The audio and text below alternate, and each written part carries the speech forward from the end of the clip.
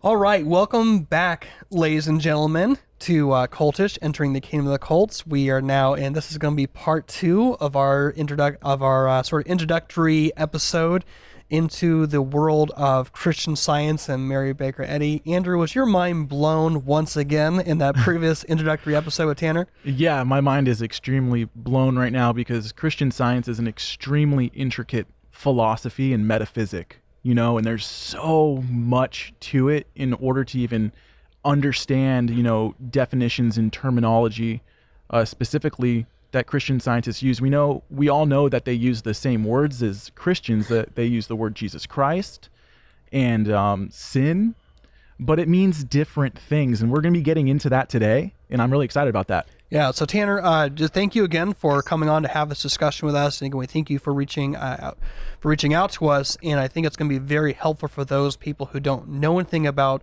Christian Science to kind of get a inter. This is going to be just an overview, kind of like a really good introductory primer, and we'll have more content for you guys on our social media, which will help you understand more about Christian Science. So I want to just jump into some of the nitty gritty uh, theology, uh, Tanner. So what I'm going to do is I'm just going to read uh, three different uh, quotations that Walter Martin uh, picked from his book Kingdom of the Cults.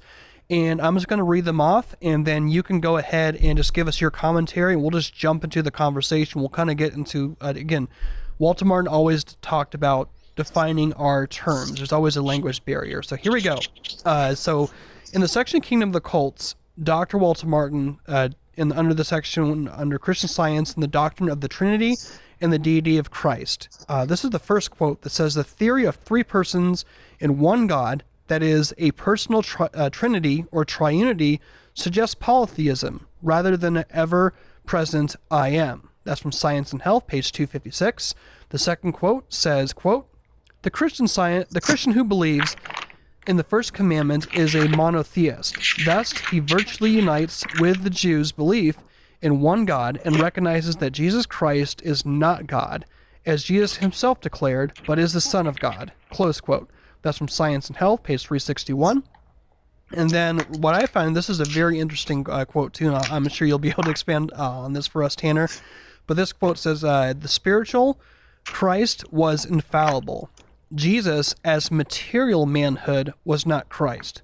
Close quote. And that's from Miscellaneous Writings, page 84 what I find fascinating fascinating about the third quote is that when they refer to uh, Jesus being material manhood. So, all that being said, with those three quotes on the nature of Jesus, kind of like what they believe, jump into just the terminology of what do they really believe about Jesus and how are the Gospels interpreted in, in light of science and health, key of the scriptures? that's a great question. Big question. Yes. Um, Floor's yours. um, you know, it, it is uh, it is the temptation uh, for all of us to make God in our own image, um, to, um, to, to try to define God in such a way that um, that that we can understand Him, and um, for Mary Baker Eddy and for Christian Science, what we can understand of God um, is uh, is is the standard. Um, you know, the the the idea of the Trinity um, is uh, it just makes no sense to a Christian scientist. It makes no sense to uh, to Mary Baker Eddy. They're they're uh, time and again, she would mischaracterize Christian beliefs in the Trinity, talking about three persons in one person, mm-hmm. as opposed to three persons in one being. Um, she didn't understand the doctrine of the Trinity, and so she sets up straw men. Um, uh, and you know, Christian scientists um, can kind of uh, uh, take pride in uh, in in having the true understanding of of God that um, that benighted Christians don't have. Yeah. Um, and uh, and people also have a tendency to make Jesus in their own image. So Mary Baker Eddy's view of Jesus is as this really great man who is this amazing teacher and this amazing healer who was persecuted because he was teaching people how to heal. Um, He was persecuted because he was healing. Um, that's Mrs. Eddy's mythic self conception. And so the Jesus that she speaks of eh, throughout her writings is really just kind of her view of self. Um, so in Christian science, Jesus is a man and Christ is the spiritual idea.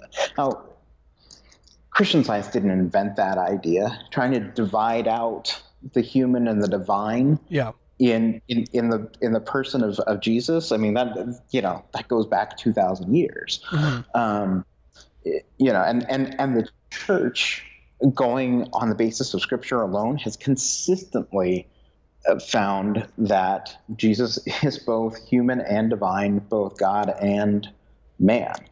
Um, and um, uh, but Christian scientists are are ignorant of church history. Um, you know, they sort of had this view that uh, that uh, you know the Bible has all of these you know great things about healing. Then they lost sight of of, of true healing around the time of Council of Nicaea. Mm-hmm. Um, and and Mary Baker Eddy has restored it.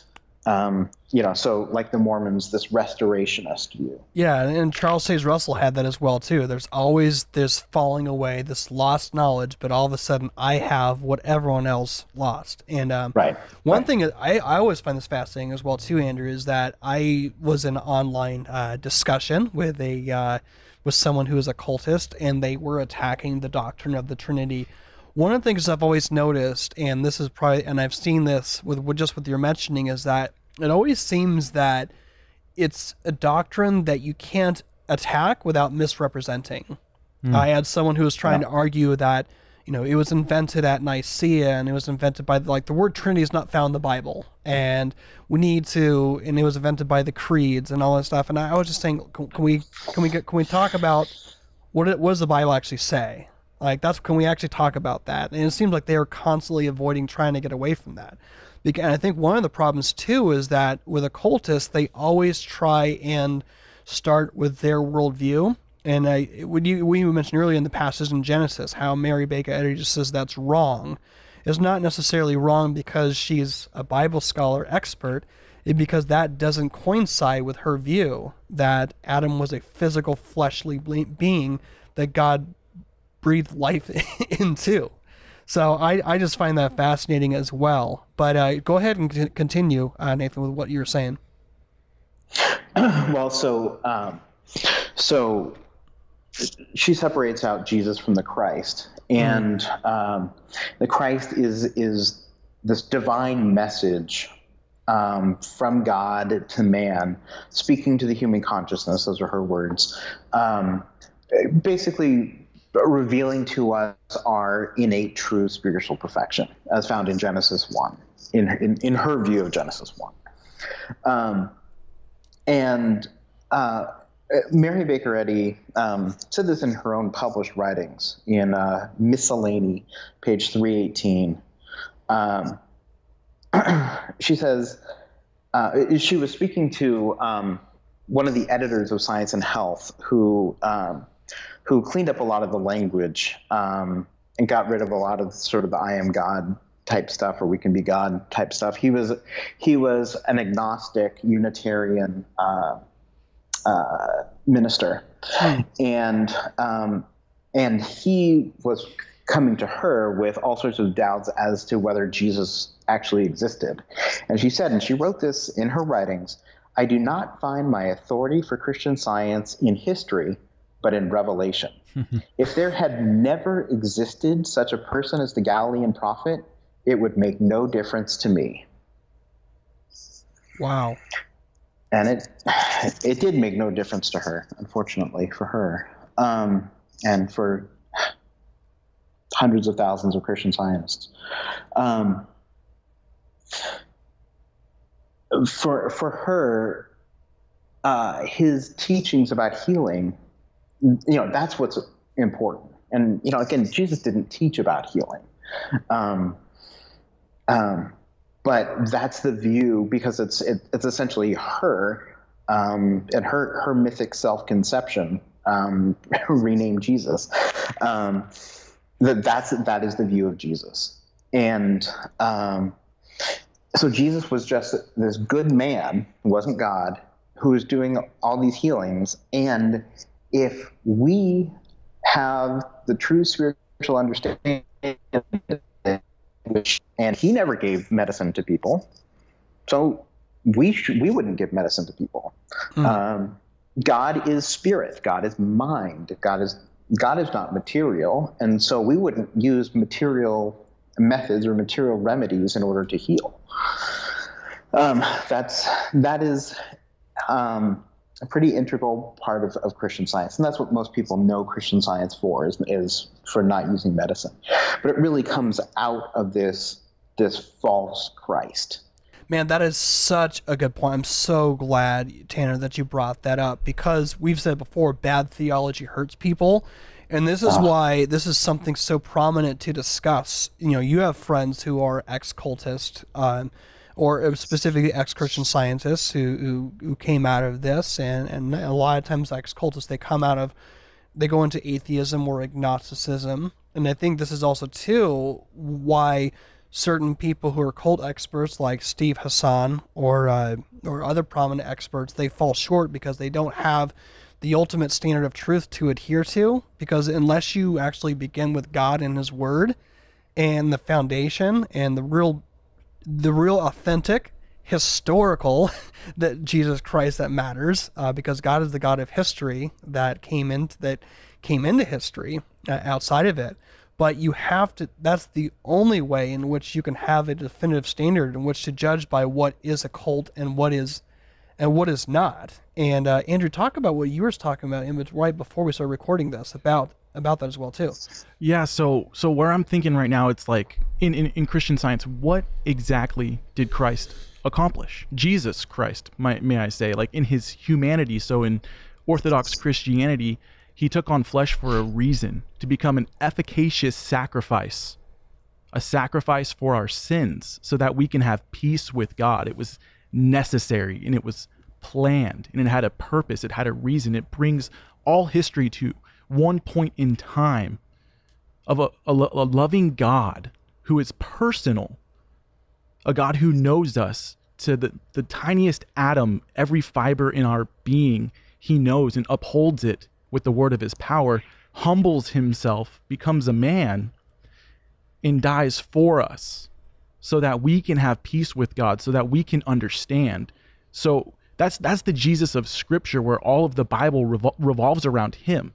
But in Christian Science, the the Jesus of Christian Science was one that performed miracles, one whose blood had no efficacious purpose, one who really was just connected to this divine mind, who said, "This is how you are. You were once perfect." Like there's I believe there is a, a quote from Mary Baker, Baker Eddy. It says, you know, so is man perfect? Yes, in light of Christ, man is seen as he actually is. So to them, uh, Christ really what he did was show us that you can break the bonds of this illusion and you can become one with this divine mind essentially because that's what you are but that's that that's a suppression of everything that we're told in scripture about our fallen state as people who are at war with God, who are at spiritual enmity with God. And that's and there's there's repercussions of denying that. A suppression of the truth, a suppression of suffering, a suppression of all things in this world to then say you can speak your own things into existence to deny our physical bodies and this physical reality there, there it comes with consequences so, for example, with the Jehovah's Witnesses, we have the organization who's interpreting the Bible for these people, and it says you can't have blood transfusions. Yep. And now in 2016, we had around 1,200 deaths that occurred because they denied blood transfusions. In the Orthodox Christian worldview, it's like, look at these medical advancements. God allowed this to happen. It's a grace, a common grace that we have. Mm-hmm. But in, in when you follow a false Christ and we have a standard that is contrary to scripture, there's going to be death. It's inevitable. Those who hate God and who who do not love God, they love death, and that's that's what they're after. So there's a spirit behind all of this, behind all of this worldview. And we can see that a, a Christ that did not truly exist, one which would be the Christ of Christian science, it, it, it comes with death and it comes with blood. We don't want to be um, car- caricature. We don't want to caricature or walk around that or dance around that. There's a real situation here. There's people that are suffering who don't understand their suffering, who can't see God's sovereignty because they are being told essentially that they are God. And that's that's a very terrifying thing. And that's that's something that's on my heart right now. It's just I'm just burning yeah. with that. Tan- no, Tanner, yeah. what do you think about that, brother? What do you think about that? Yeah, you know, it's six months before my conversion. Um, you know, my wife and I both said we would rather die than go to a doctor. Mm. Um, um, you know, you, you, are being told to choose between what they call materia medica, between medicine and your gut and God. Um, well, you know, who's going to choose that? Um, mm. And so uh, they're just, um, they're just story after story after story of just so many people I, I love, so many people I know, you know, whose parents died when they were teenagers, um, uh, you know, whose husbands died when they're, you know, 24, um, whose kids died. Um, yeah, bad theology kills. Mm. And um, um, ah, there's so many stories that I wish I could tell, but they aren't mine to tell. Um, mm. But um, you know, when um, in in 1989, um, I'll tell this. This was out in the uh, papers. There was a there was a measles outbreak um, at Principia College Principia College is a college for Christian Scientists um, here in the St. Louis area. And um, out of a community of about 900, um, over 160 members of the community uh, came down with the measles, and three of the three of those kids died um, of of the measles. I contracted measles from that outbreak, actually. Wow. Um, um, but uh, but I didn't die. Um, there, um, there are uh, websites out there which deal with um, with the deaths of of, of children um, in under Christian Science care, and uh, Christian Science parents have been um, taken to court for manslaughter. Uh, in, uh, in in several instances, um, and these people love these people love their kids. Let me just let me just say that yeah. first and foremost. They love their kids. They think what they're doing is the best thing for their kids. Hmm. Um,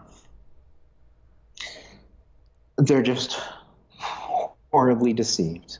Mm-hmm. Um, and um, the um,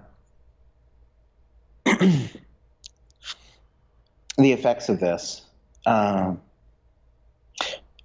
you see it on, on kids. You also see it on parents, um, where um, so many of my friends in college, uh, you know, they had one or both of their parents die when they were in college. Um, mm. I um, I was talking to a friend a couple years ago, and and um, we estimated um, over half, if not three quarters, of, of the people from our graduating class um, uh, had lost one or more parents. Um, you know, so it, I mean, it just, you know, I, I never knew my grandmother growing yeah. up.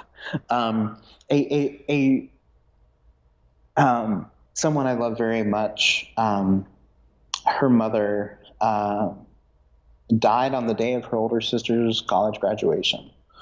Um, and it's just okay, you know, that's right. that's the way it happens. And in Christian Science, you um, you're taught to suppress emotions, not to feel feel any negative emotions, so you wouldn't feel uh, grief. Um, yeah, you're told not to grieve. And people, all your friends are dying. Just your people in your community are, dying all around you, and like, prematurely, just because of the fact they're not getting this medical treatment, which is something that God, like, really, you think about all the, you look at the progression of Christianity, like, throughout the world.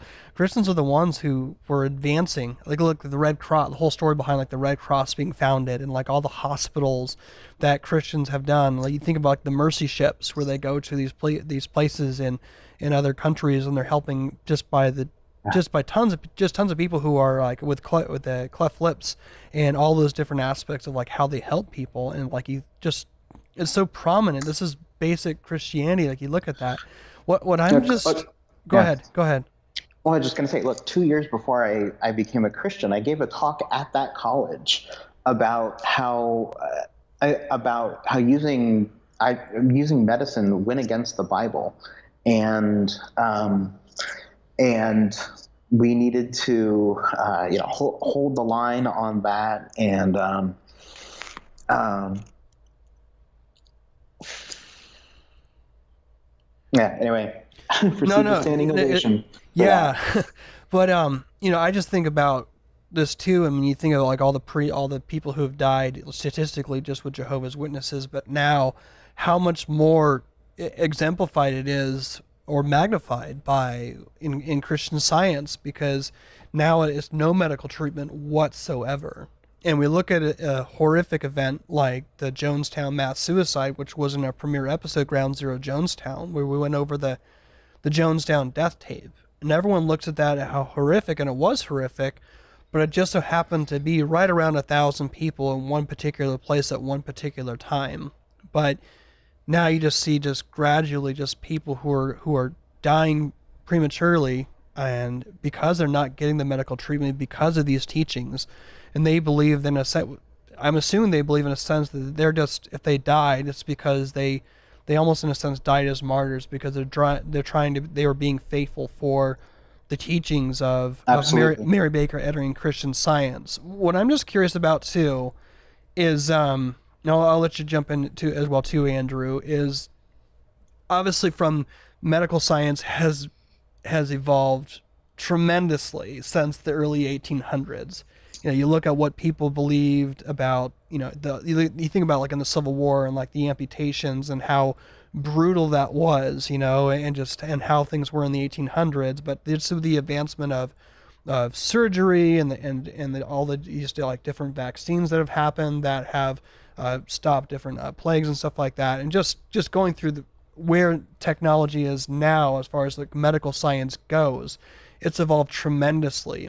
Has there because uh, has there been more of a, of a rising tension between the teachings of Christian Science and where she was? I mean, I don't know if Mary Baker Eddy like foresaw the medical technology getting to where it is today. Has there been like a rising tension between those? In a sense, like there's would there be a, a a clash of worldviews there, just as far as the medical community, the evolving medical community in Christian science? Oh, sure. Yeah, there are huge cla- um, clashes there, and and you know Mary Baker Eddy says that like a, the uh, you know the medical profession is the cause of sickness. You know, it's their wrong thoughts of of man as material is is the cause of sickness. Mm. Um, so yeah, huge huge clashes of worldview there. Um, funny thing is I've, I've talked to Christian Scientists because Christian Science culture is changing slightly. It's becoming slightly more accepting of, of medicine, mm. a little bit, a little bit kind of like behind the scenes, undercover. Um, that's part of why I was asked to give that talk at the college um, to try to stem that tide. Um, and um, um, you know, I've I've talked to, to Christian scientists who say, well, if Mary Baker Eddy lived today, she would approve of using medicine. No, she wouldn't. Mm-hmm. um, uh, she wouldn't. And she said again and again uh, throughout her writings, um, spoke about the evils of, uh, of medicine. Um, you know, again, the, her, um, but but for Christian Scientists, yeah, her worldview is determinative. and Christian Science can't be wrong. So Christian scientists will even come up with different versions of Christian Science in order to uh, reconcile it to what they're comfortable with. Wow. Um, while, while still staying in Christian Science. Um, yeah, and and and there there are so many Christian scientists I know who feel so so guilty because they're um, so many of them feel horribly guilty because they're using medicine, um, and um, yeah, uh, because they're following a, a, a, false Christ, a false gospel.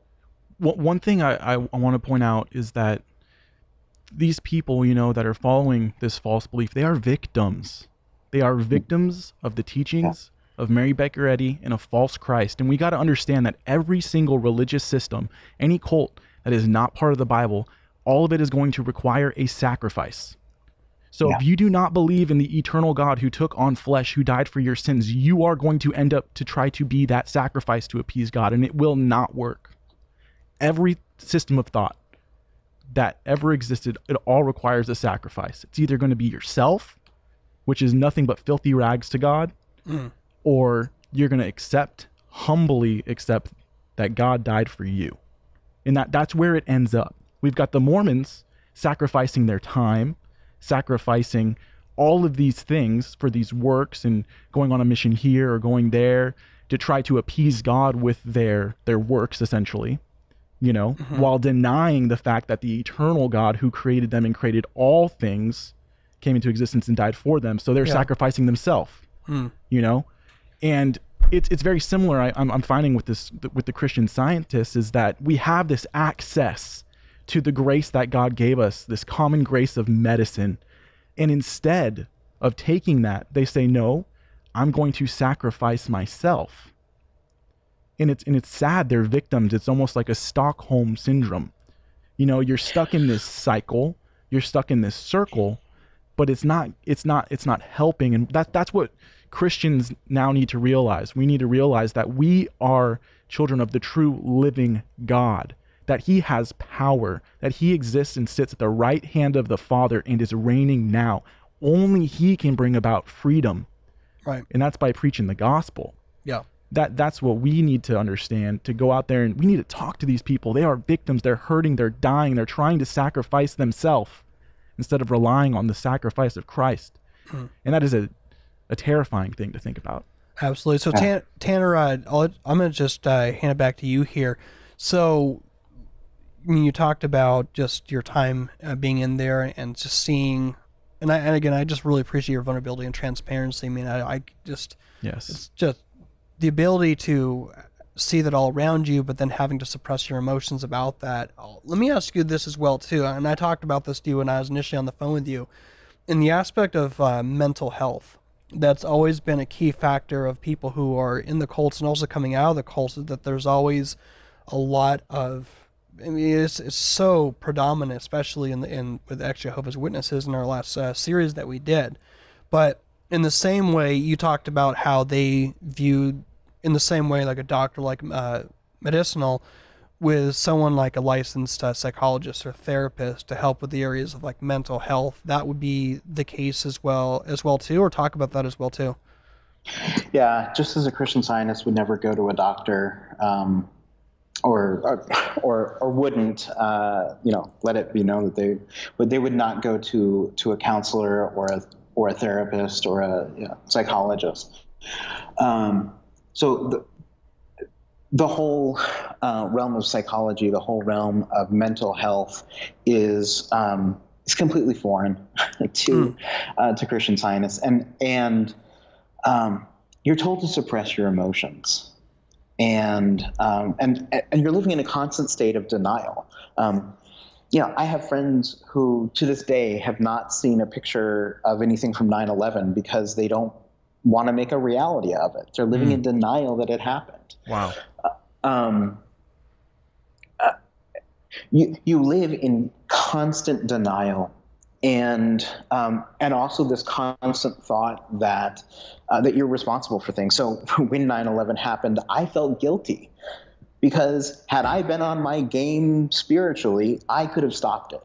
So Mary Baker Eddy wrote to um, Christian Scientists in uh, in San Francisco after the 1906 earthquake that had they been doing their work spiritually, had they been on top of things spiritually, that earthquake wouldn't have happened. And you just think of the narcissism and the guilt uh, which comes as a result of that, mm. um, where you are responsible for uh, for the fate of the world, essentially. Um, uh, one of my uh, reactions to 9/11 was guilt, uh, feeling that um, had I been on top of things metaphysically, had I had I really been spiritually praying as I should, that 9/11 wouldn't have happened. Um, so Mary Baker Eddy would have been diagnosed with a severe case of narcissistic personality disorder. Um, she just checks every single box. Um, she checks boxes for most of the DSM um, uh, problems, but um, but uh, Christian Science breeds so much narcissism, even though they don't use the language today that that uh, that we can become spirit, we can become God. Um, that is the mindset that uh, that I am responsible for sickness and for health, and I am responsible, um, f- you know, for, for world of world affairs, hmm. and um, and and as as difficult as um, as the physical scars that we all bear from uh, from our time in Christian Science, um, without a doubt, um, the biggest scars that that ex-Christian scientists talk about are the the emotional mm. and the psychological, um, the mental, and, and and yes, the spiritual scars mm. from um, from having to suppress things for so long for um, you know having parents those that that you are turning to for love and support um, being emotionally distant emotionally cut off uh, that, that you can't come to them and say hey mom i'm feeling sick um, um, i mean you know they respond the best that they that they know but um, but their worldview just brings so much harm to uh, to those family relationships. Well, and, so, uh, so, it's almost yeah. an it's almost an aspect where like they're orphaned, even though even if there is like a mom and a dad there. Wow. Like there's there's real there's almost like spiritually induced fatherlessness. Mm. Would that be a correct assessment? those are those are some strong words. Yeah. yeah. Yeah. You know, Mary Baker Eddy. Um, she had a a, a child um, with her first husband, and um, and she didn't care take care of the child. Um, the child was taken away from her. Um, and uh, Mary Baker Eddy's recounting of that is that there was this whole conspiracy to take her child away. That's not what the facts on the ground say. Yeah. Uh, um, and um, you know, I, you know, I love my folks, you know, um, but yeah, there are a lot of people who feel hugely cut off from, um, emotionally cut off from their families, emotionally orphaned. Yeah. Mm. Wow. So let me ask you this. So this is we've covered a lot of ground here. Um, get into the point where what gives the point that led up to your your conversion moment, like getting out of Christian Science? Because you mentioned we, we talked a bit about like the the mental the uh, medical aspects, both in regards to you know physically, but also like the mental health aspect for sure, and that's uh, that could be a whole other podcast in and of itself. But um, kind of if you could just walk us through what what kind of what were the, the talk about what what happened in between the six months to where you said you and your wife said that you'd never go to a hospital, and then God, by God's grace, you became a new creation, and the Bible talks about that. Talk to us about, lead, lead us into that as well. So, uh, so I've got to I've got to back up way before six months. Um, Yeah, man. So Timeline's so, yours. so, so as as I said, um, when I was in college, I had Christian Science class instruction, which is training to become a practitioner, and I became um, one of the youngest uh, practitioners in Christian Science history. Um, and um, during that training, um, my Christian Science teacher and, those Christian Science teachers, they all operate as cults within the cult. Um, uh, this is a man who was like a father figure for me. Um, and he loved the Bible as he understood it. He had over 100,000 pages of notes on, on the first chapter of Genesis. Um, he encouraged me to, to study Greek um, in college um, and to do word studies in, in, in Greek and in Hebrew. Um, and um, he wholeheartedly believed that Mary Baker Eddy fulfills a number of, of uh, biblical prophecies, hundreds of biblical prophecies. And I knew those those prophecies like the back of my hand. Mm. Um, and in and um, in order to better understand Mary Baker Eddy and better understand Christian Science fulfillment of prophecy, I began to study Jesus fulfillment of prophecy. Hmm. I began to um, listen to people online talking about uh, Jesus fulfilling prophecy.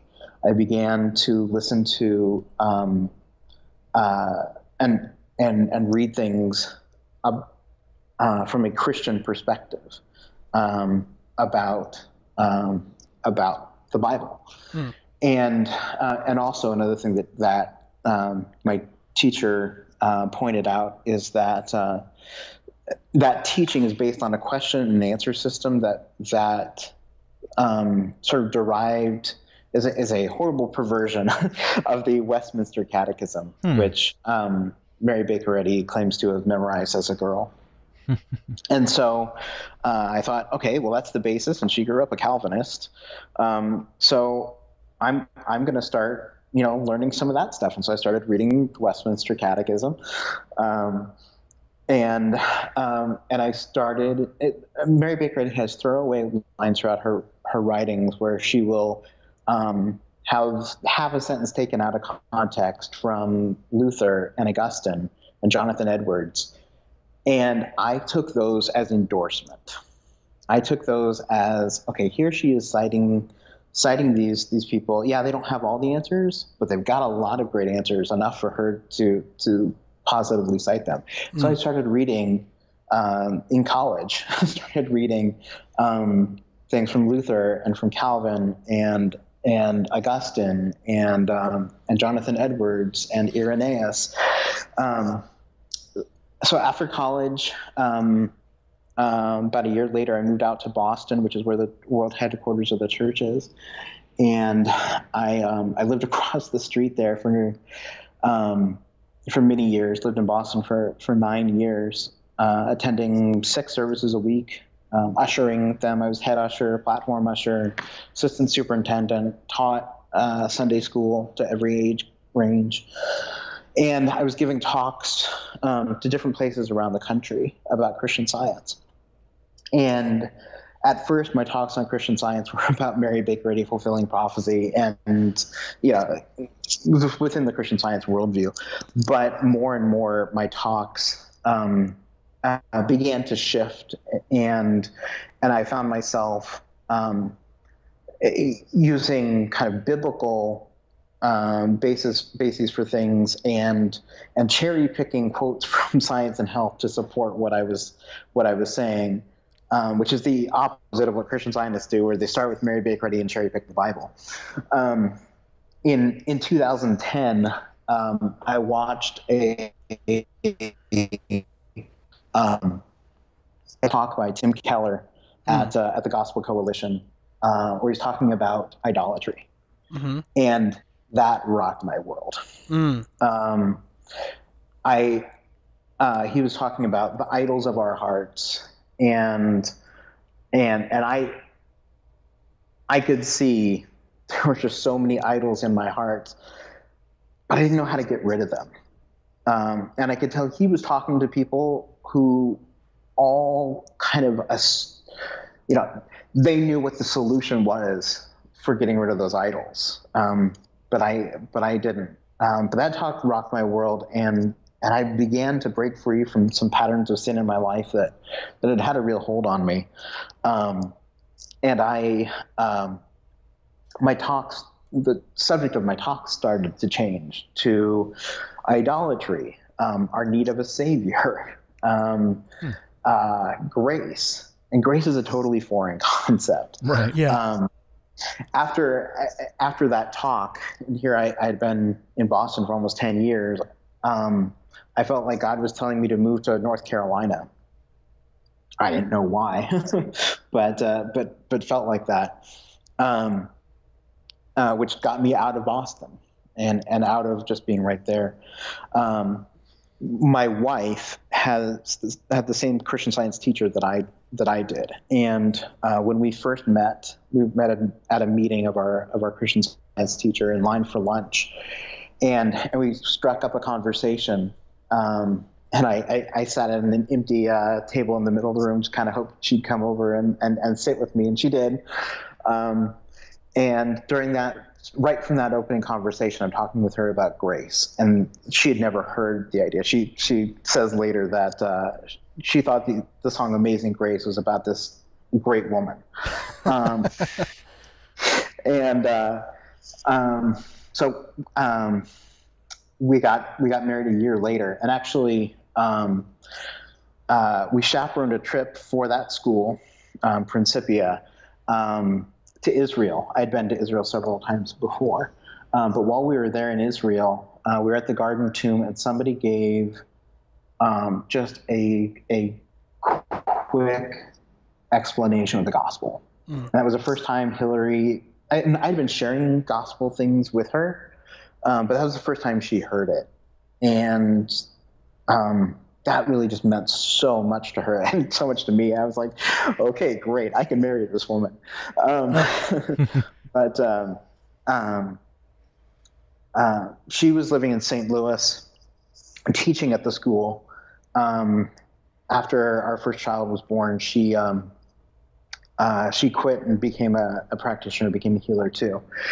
And during this time, I'm I'm you know I'm sharing things with her about grace and and she's loving it, um, and and just becomes on on fire with uh, with that message, and um, and she kept coming to me and saying, you know, Tanner, if I were to write a book, it would be about the gospel. It wouldn't be about healing. Wow.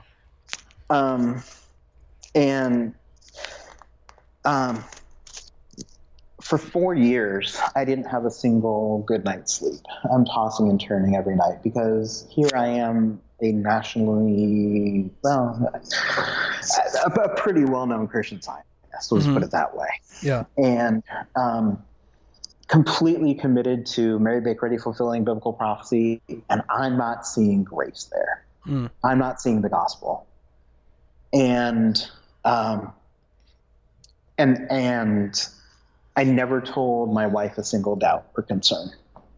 Um, uh, but she's growing on, uh, in love uh, for the gospel. People are hearing about um, talks that I'm that I'm giving and wanting co- kind of previews of them, and so people were coming to our to our house a couple nights a week. Um, to hear the message of grace that we were talking about. Um, and and I would cherry pick things out of Mary Baker Eddy's writings that made it made her sound like a Calvinist. um, and um, and say, yeah, you know, Mary Baker Mary Baker Eddy thought that, that I found a reference that said God in, in one of her earlier writings, but I didn't see the full context. But it says that we are too. Mm, um, yeah. So, um, so people are, are hearing about this. These are on fire. I'm I'm uh, um, filling in a little bit at uh, as a Bible class. Um, uh, you know, at the school teaching uh, things there. Um, and uh, I was coming up to the 500th anniversary of the Protestant Reformation. Mm. And every year I would write like a 100, 150 page, sometimes 200 page paper on something pertaining to Christian science. And my, my thesis was that on all the issues that separated Rome from the reformers, um, looking basically at Luther, um, Christian science culture stands with Rome over against reformers. Wow. So justification, scripture alone, uh, superstition, you know, all sorts of things. You know, 150 pages. I want to read that.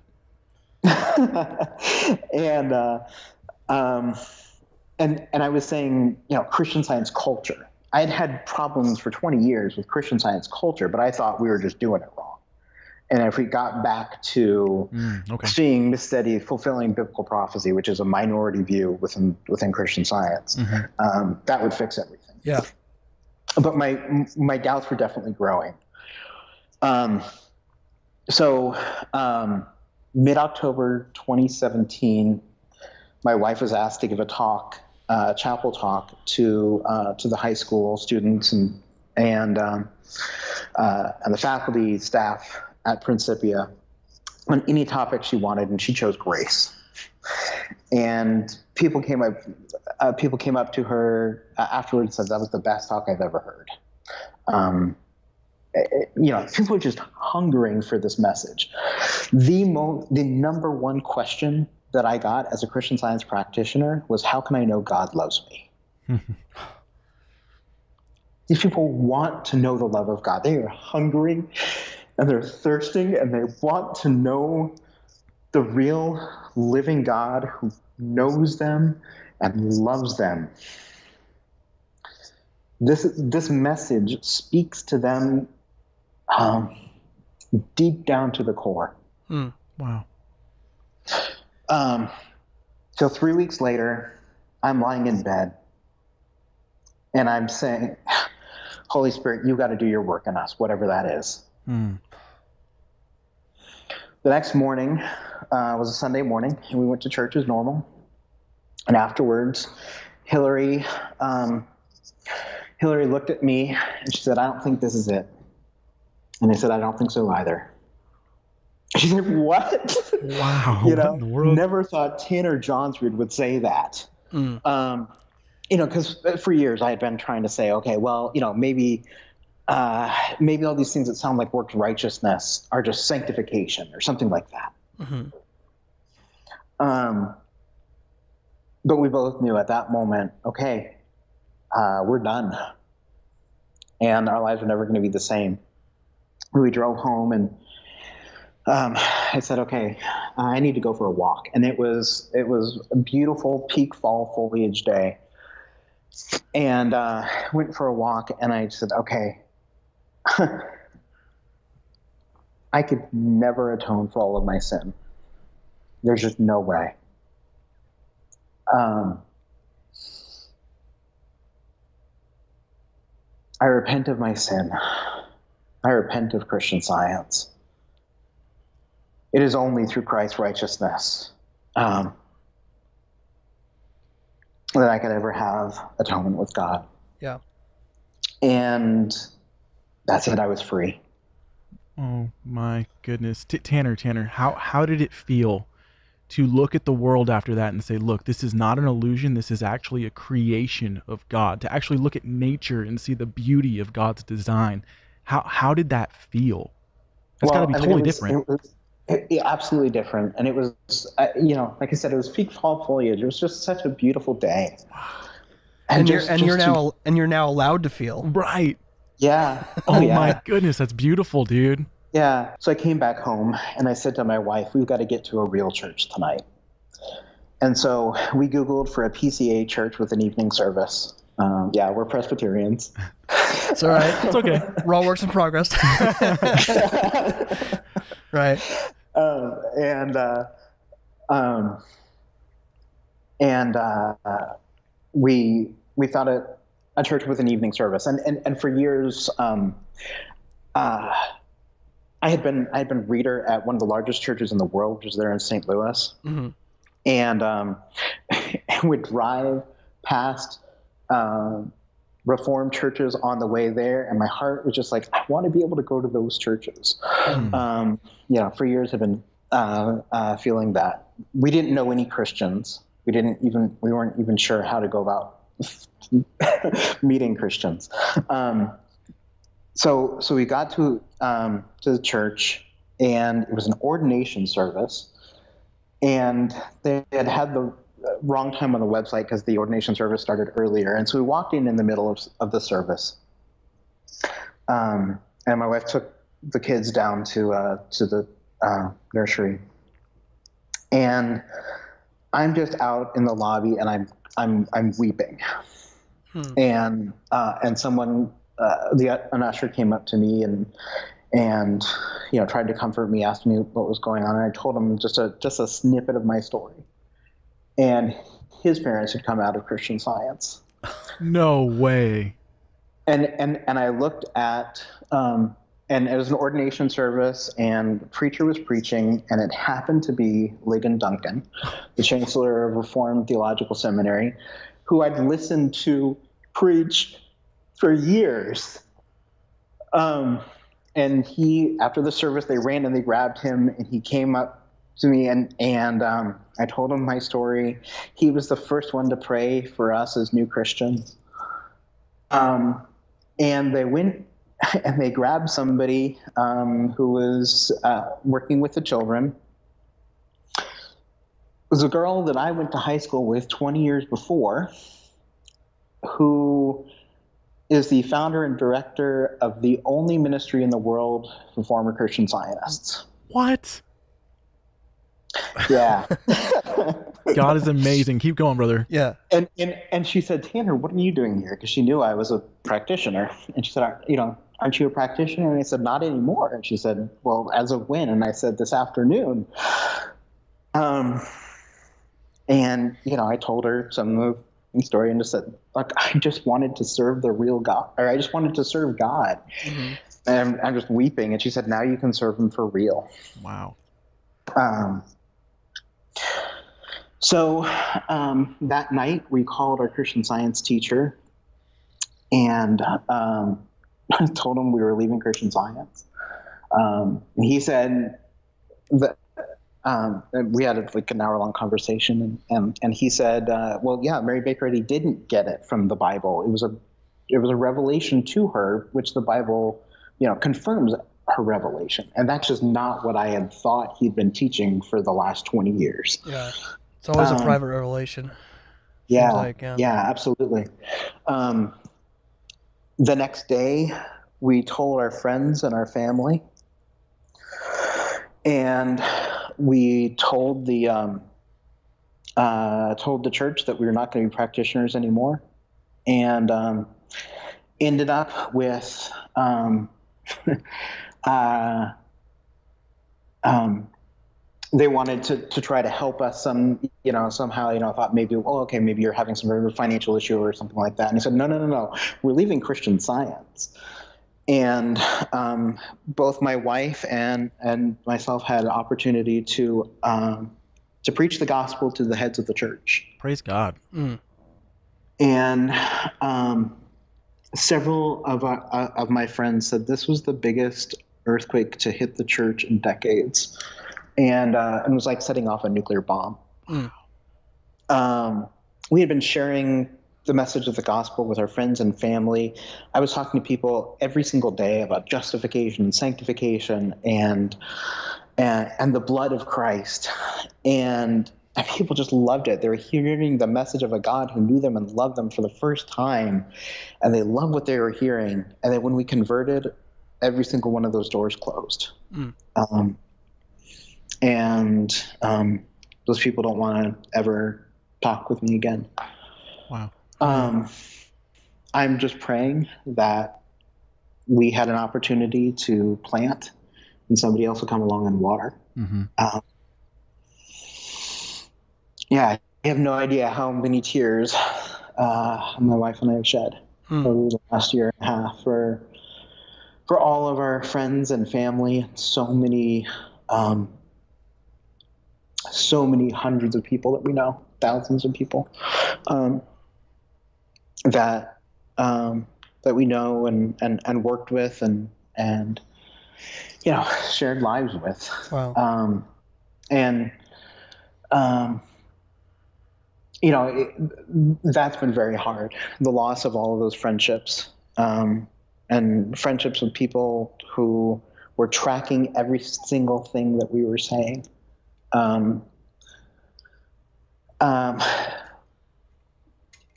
they're not going to be brought out of Christian science through human power. It's only through the work of the Holy Spirit. Mm-hmm. And they're not going to be brought out of Christian science by just trying to poke holes in, in, in Christian science. There are lots of holes that can be, that can be poked.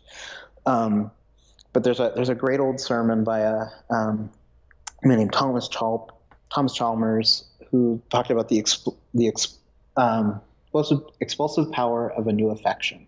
Mm. Basically, our old narrative of Christian science, or whatever the cult may be, has to be replaced by the new narrative Amen. of God's love for us in Christ. Yeah. And and so as you are as you are talking to you know maybe a Christian Scientist you know, or a Jehovah's Witness, or a Mormon, just pointing out you know different historical things and little gotchas here and there. You know, I I knew all of those, and and and I could refute all of those to my own satisfaction, and and did for 20 years. You know, and defended Christian Science in the Wall Street Journal and Boston Globe, but when the message of the gospel hit my heart, that transformed it. And and so to present the message of the gospel of a God who knows us and loves us and redeems us through his through his son, um, that is powerful. And that is that brings about marvelous transformation, and it has for me and my wife, and and and for uh, for scores of other people, um, hundreds of others, and you know, I just I just pray that like God will continue to do a great work, Hmm. and um, and will um, bring Christians in, into their lives and um, and, and help present the gospel uh, uh, to them because this is a message which resonates deeply in the heart, and this is a message that people want to hear. And um, yeah, it it it's not easy, but you know, to to the Christians out there who are who are listening, you don't have to be an expert on Christian science. But you you're an expert on the gospel. Yeah. um, you know your lord who who has saved you and who has redeemed you. And you don't need to be able to poke holes in christian science but just to boldly and humbly and lovingly proclaim who the Lord is for you um, what he can do for them. Um, that that changes hearts, and um, and I just pray that that it will uh, bring about a a uh, transformation. God, look, God is going to bring every single one of His people to Himself. Yep. He cannot fail, and um, yeah, I just uh, encourage everyone listening to pray with me that uh, that he would do so. Um, you know, I hope people come away from from these podcasts not with a sense of, "Wow, that's a really wacky cult," but with a a conviction to love their Christian Science neighbors, love their prosperity gospel neighbors, love their Mormon neighbors, and uh, and to bring them the only message that heals. And um, my wife and I have experienced so much healing, so much transformation in the last year and a half. It's just remarkable. And um, we just, um, you know, we so long to see that for all of our friends and family. Wow. Well, Tanner, um, I, I, I think th- I don't think you could we could wrap it up any better than the way you just ended it, and that that is just so it's so good, and I really appreciate you saying that too, because a lot of people are are fascinated by uh, you know Mary Baker Eddy and just like a lot of the there's definitely a lot of cultish and friends as, aspects of it, and and obviously the aspect of not going to the hospital and all the things that entail with that. But at the end of the day, we like I said, we're not neutral here. We we have we have the truth that God has revealed, his, the historical God's revelation revealed through objective history, and here we and here we have it. So we're, we can not be neutral in regards to this. Neutrality is a myth, um, and like I said, unless you begin with an objective standard, you don't have any measurement. You don't have any, any way to measure uh, what it is. So um, I, I really appreciate you again, man, just coming on. I, I'm just I'm I'm just blown away. You know, I just think about what you had to suppress like for so long and it kind of goes along with what the Bible says in Romans about, suppressing the truth and unrighteousness, mm-hmm. you know, but it's the righteousness of God that comes through faith. And you know, it really kind of captivated me, you know, and I and I appreciate you be, again, you just being transparent, you know, and it's like, and even like with your emotion stuff, and that's okay. And in a sense, you know, you're probably given all your upbringing in it, you know, you're making up for lost time in a sense, you know, and and I say that just just you know observing that, and that's an okay and beautiful thing. Um, but but yeah, man, it's just been uh, I don't know. I feel like I'm just at a I'm just I'm just blown away. But it's just knowing that yeah. So the God yeah. What I was saying is that the uh, the gospel though is that it's not just that you have your sins forgiven or that you get the righteousness of God. I mean that's a means to an end. Is that you get God and you get exactly His love, which is the love that is the triune love between Jesus and the Father and the Holy Spirit that was shared with God before the foundation of the world. So, um, I think we have a train. Just so you know, too, we have like a train right behind our studio. So sometimes if you hear that mumbling, that's what it is. If you guys end up hearing that, but it's all good. Um, we'll wrap up things up here. We've been here for a while. Andrew, any last words before we wrap up? No, I just want to echo what our brother Tanner was saying. Is that yeah, there may be these fringe things. There's there's things that may be interesting to talk about, but the truth is, and the reason why we're here is because there are people being hurt from these cults and believing in a false Christ, a Christ that can't save.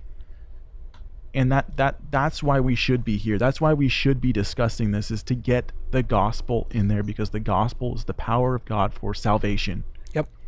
That that's it. It's as simple as that and we need to remember that there's people out there that we should be caring about and loving. And the, the truth is that love, love is preaching them the gospel.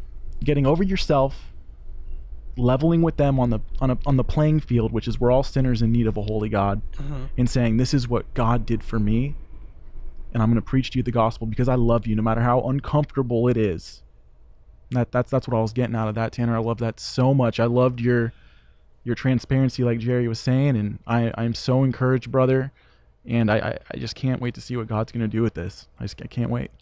All right. So uh, thank you guys for listening to this uh, two-part series on our kind of introductory episode on Christian Science and all things and, and the world of uh, Mary Baker Eddy. There's definitely a lot more we could jump to at some point. So Tanner, uh, thank you again, my friend, and we will uh, talk to you soon.